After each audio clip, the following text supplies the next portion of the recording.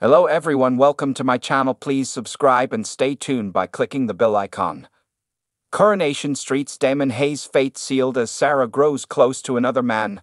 Coronation Street's Sarah Barlow, played by Tina O'Brien, has had a tough time of late following the breakup of her marriage to Adam Barlow, Sam Robinson. Having rekindled her romance with Damon Hay, Ciaran Griffiths, she has found herself alone again after he was arrested for armed robbery.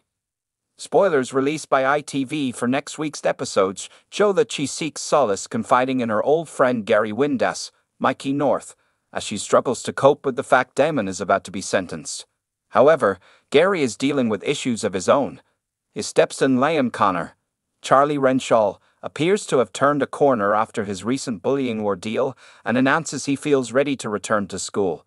His mother, Maria, Samia Longchambon, refuses to discuss it though, despite the fact that both she and Gary have been finding homeschooling difficult.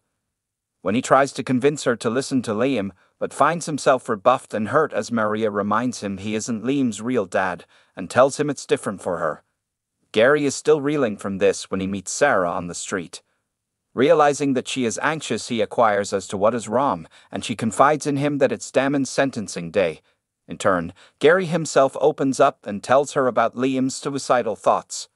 Relieved to have that off his chest, he invites her back to the flat where they enjoy a glass of wine as they share their problems. As the old friends chat, Gary tells Sarah about Maria's overprotective behavior and how it's ruining their relationship. Unfortunately, Maria picks this moment to check her app, which is linked to secret cameras she installed in the flat.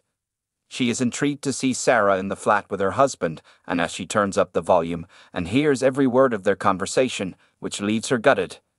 As Maria tries to process what she has heard, Sarah gets a call from Damon's solicitor D. D. Bailey, Channique Sterling Brown.